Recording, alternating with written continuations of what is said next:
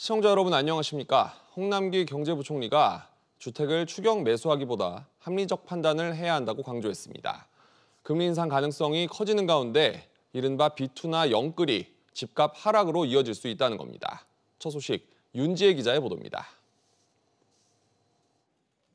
홍남기 부총리가 오늘 부동산 시장 점검 관계장관 회의에서 높은 가격으로 주택을 추경 매수하는 것에 대해 경고했습니다.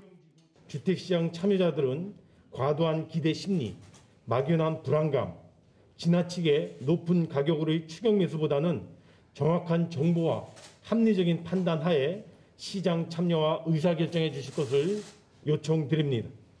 과도한 대출은 집값을 떨어뜨리는 요인이 될 것으로 봤습니다. 한국은행의 연내 기준금리 인상 가능성 등으로 앞으로 주택시장에 대한 유동성 유입이 둔화될 것이라는 설명입니다. 단기적으로 소득과 기리된 주택가격 상승이 있으나 갈수록 과도한 레버리지가 주택가격 하방 리스크로 작용할 것으로 분석하였습니다. 한국은행에 따르면 지난 3월 말 기준 가계 신용 잔액은 1,765조 원으로 통계가 시작된 2003년 이후 가장 많았습니다.